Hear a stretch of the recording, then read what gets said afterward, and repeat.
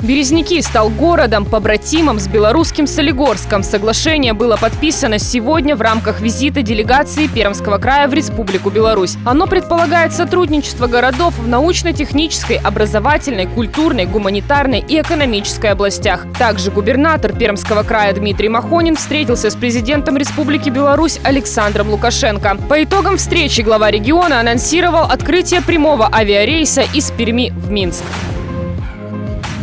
Перми планируют построить лабораторию для изучения опасных инфекций. Предполагается, что это будет лаборатория высокого уровня биологической безопасности для оперативной расшифровки и изучения опасных неизвестных инфекций. Располагаться она будет по адресу Лебедева, 26. Проект направлен на публичные слушания. В Березняковское спецавтохозяйство поступила новая современная техника «Мульчер». Он представляет собой навесное оборудование на трактор и предназначен для измельчения древесно-кустарниковой растительности и пней. Заросли под напором этой машины ломаются словно спички. «Мульчер» тут же опробовали в деле. С помощью него уже проложили путь для новой дороги в Шарапах.